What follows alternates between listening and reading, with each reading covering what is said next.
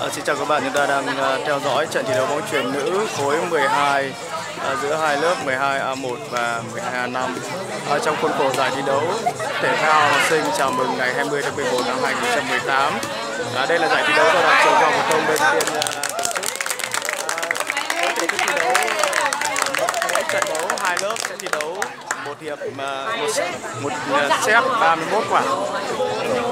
Ở phía màn hình sát màn hình chúng ta là đội tuyển của 12A1 và phía bên uh, phía xa bên sân bên kia là đội tuyển uh, 12A5. Hai đội đang dạo chuẩn bị cho trận thi đấu. Uh, bắt chính trận đấu này là thầy Nguyễn Xuân Cường, phó bí thư đoàn trường, ờ, thầy giáo dạy ờ, môn ờ, công nghệ của nhà trường. Hiện nay thầy Cường đã cho hai đội làm theo thủ tục thi đấu và bây giờ quyền phát bóng đã thuộc về lớp 12-1 Nguyễn Ngọc Anh lớp trường 12-1 phát bóng.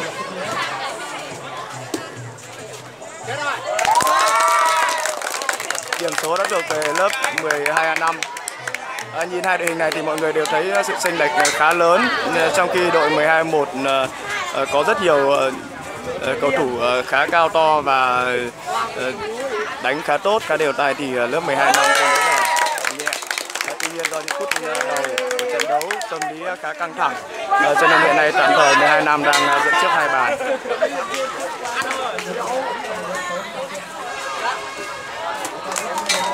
hai năm vừa để mất điểm ở trong đời 12 năm thì ờ, các cầu thủ ờ, chiều cao tương đối là khiêm tốn.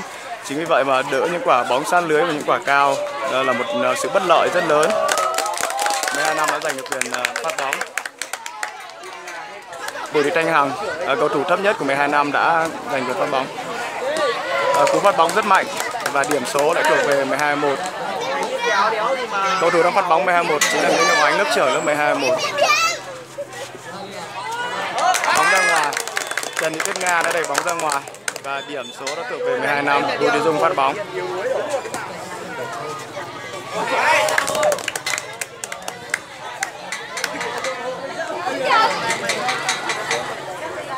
Trọng tài Bùi Xuân Cường đã xác định điểm số thuộc về 12 năm. Cầu thủ Bùi Thanh Hằng để tiếp tục phát bóng đây đây rồi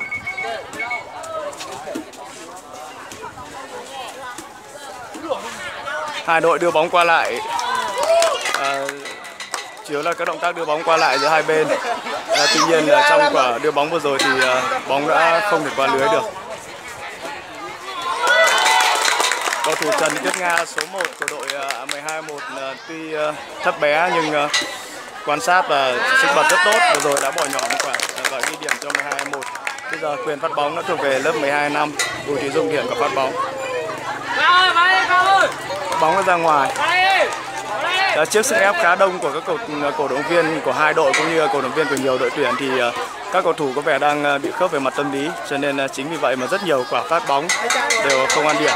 Trọng tài xác định lỗi chạm hai bóng của lớp 12 1 12 năm giành quyền phát bóng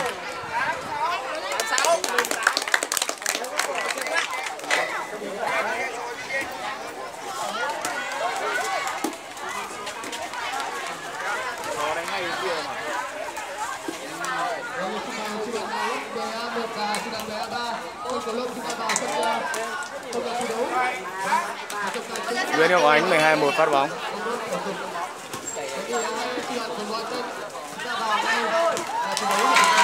Vừa rồi Trần Lý Quỳnh, ờ, cầu thủ 12 năm đã đẩy bóng ra ngoài. Điểm số đã cho lớp 12 1, điểm số đang đều. Một lần nữa cầu thủ Trần Lý Quỳnh lại để mất điểm rất đáng tiếc. Ờ, Trần Lý Quỳnh ờ, đánh không tập trung.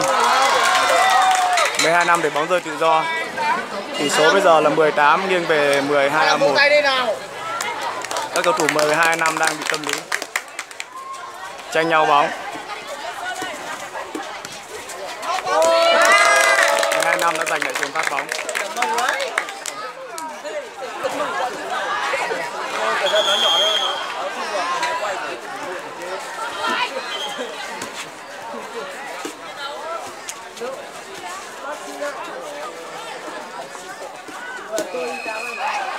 Rất tốt.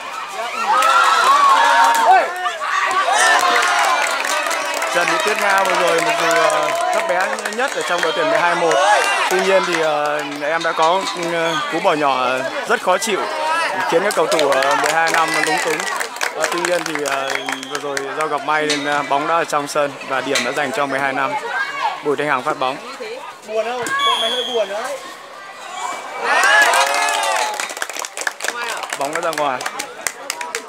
Điểm số trong 12 năm 11 10 à, Xin nhắc lại là luật thi đấu của các giải thi đấu dành cho học sinh nhà trường à, lần này là mỗi một trận đấu là 31 quả. Mỗi trận đấu chỉ diễn ra trong một hiệp là 31 quả. Tỷ số này là 11 đều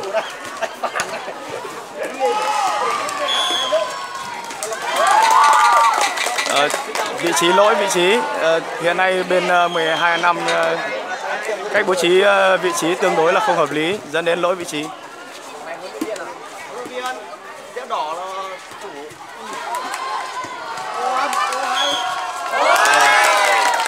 Điểm số đã thuộc về 12 năm. 12 đều tỷ số là 12 đều. Bùi Thanh Hằng phát bóng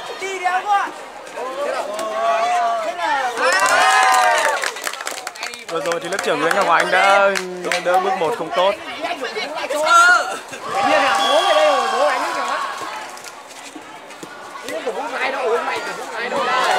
À, Hà Thị Đan Hương lớp trưởng 12 năm vừa rồi đã có pha đập bóng không ăn điểm bóng đi vào lưới và rơi xuống đất. Chiều cao không tốt nên những quả đập bóng vừa rồi không đúng kỹ thuật nữa dẫn đến cái việc là bóng thường xuyên à, mắc vào lưới và đội bạn ghi điểm khá dễ dàng Hiện nay thì 12 năm đã đã giành được à, quyền à, phát bóng tỷ số 14 13. Bước 1 khá tốt. Bước 1 khá tốt. Phạm Hồng Nhung, bí thư lớp 12 năm vừa rồi có pha nhảy lên để à, ném bóng tuy nhiên thì pha nhảy của Phạm Hồng Nhung đã không thể ghi điểm.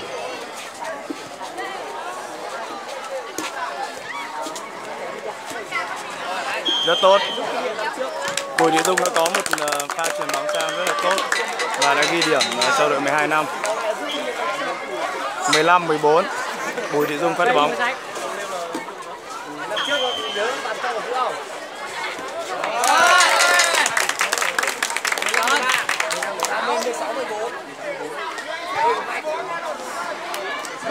Hai đội đổi sân. Đội 12 năm và 12 1 đã ờ, đánh được nửa hiệp, nửa xét và đang tiến hành đổi sân. Hiện nay tỷ số đang thuộc về, đang tạm thời ờ, thuộc về lớp 12 năm với tỷ số 16 14. Ở Bùi Thị Dung của 12 A5 phát bóng.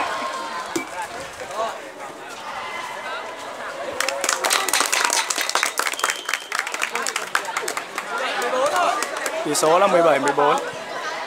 Bùi Thị Dung tiếp tục phát bóng.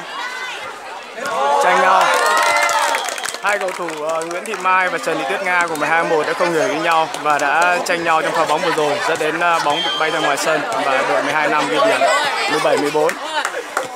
Bùi Thị Dung vừa rồi đã có uh, pha phát bóng không chính xác và 12-1 đã giành quyền phát bóng với tỷ số 15-17.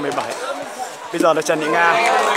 Trần Thị Nga với những quả phát bóng rất khó chịu, bóng bay là là và tương đối xoáy khiến cho các cầu thủ mỗi khi đỡ những quả phát bóng của Trần Thị Nga đều rất khó khăn và hiện nay thì à, đã giành điểm hai quả ăn bóng liền.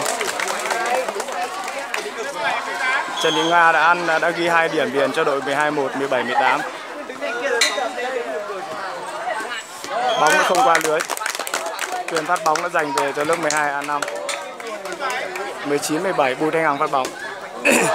Lại một quả phát bóng không chính xác của Bùi Thanh Hằng. Trần Thị Nga tiếp tục phát bóng cho 12-1 Bùi Thanh Hằng này đưa bóng ra ngoài. 19 đều, tỷ số này là 19 đều.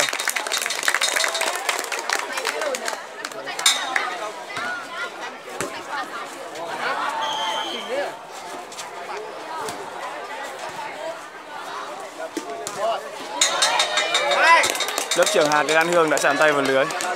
Tỷ số là 20 19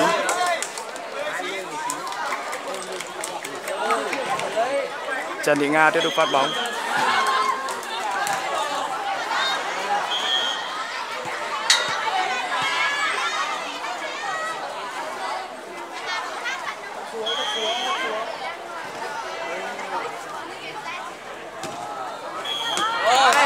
Bóng lại ra ngoài. 20 đều. Bùi Thị Dung phát bóng cho 12 năm. Bóng lại ra ngoài.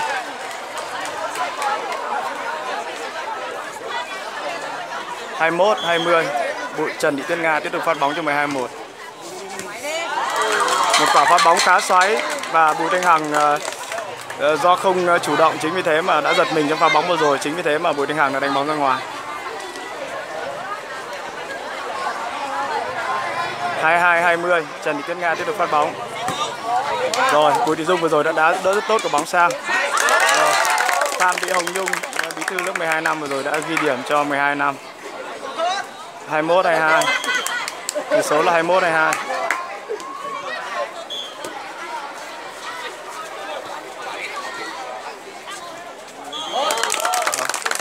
12 1 đỡ bóng không tốt. Tỷ số này 22 đều. 12 năm giành quyền phát bóng. Bùi Thanh Hằng, Bùi Thị ờ, Dung đang ờ, tranh nhau quyền phát bóng.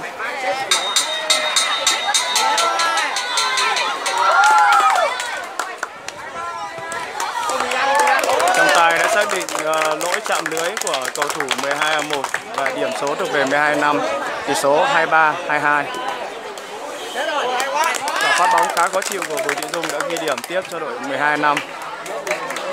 24 22 như vậy chỉ còn còn 7 quả nữa thôi thì uh, trận thi đấu sẽ kết thúc. Trần Thị Tuyết Nga Trần Thị Tuyết Nga đấu có một quá mạnh. Bóng ra ngoài sân và điểm số thuộc về 12 năm. 25 22 Bùi Thị Dung tiếp tục phát bóng.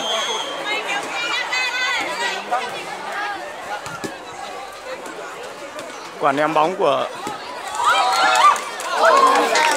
các cầu thủ sau một hồi rất lúng túng thì ờ, bóng cuối cùng đã không để qua lưới được.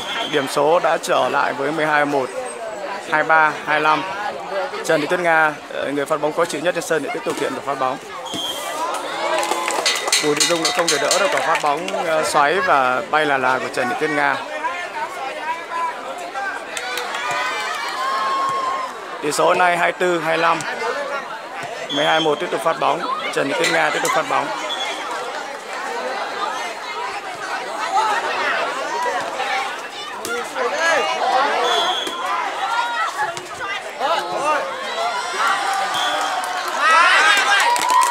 rất tiếc là vừa rồi Nguyễn Thị Mai đã đẩy bóng ra ngoài. À, sau cú phát bóng khá khó chịu của Trần Thị Tuyết Nga thì à, 12 năm đã đỡ được bóng sang. Tuy nhiên thì à, Nguyễn Thị Mai đã phát bóng ra ngoài, đã đẩy bóng ra ngoài.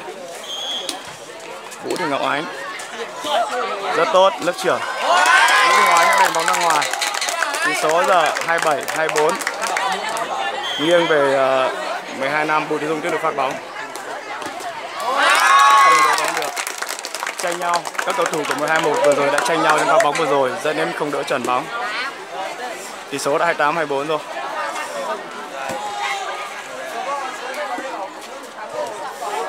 Trần Thị Tuyết Nga tuy nhỏ nhưng mà bỏ bóng rất tốt, đã bóng ra ngoài.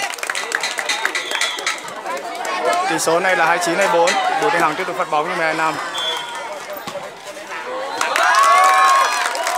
Tỷ số đó là 30 24 À, như vậy chỉ còn một quả nữa thôi. À, thì ờ, lớp 12 năm sẽ kết thúc trận đấu này. Không biết là các cầu thủ 12 năm sẽ duy trì được cái phong độ như này không? À, Bùi Thị Dung sẽ phát quả này.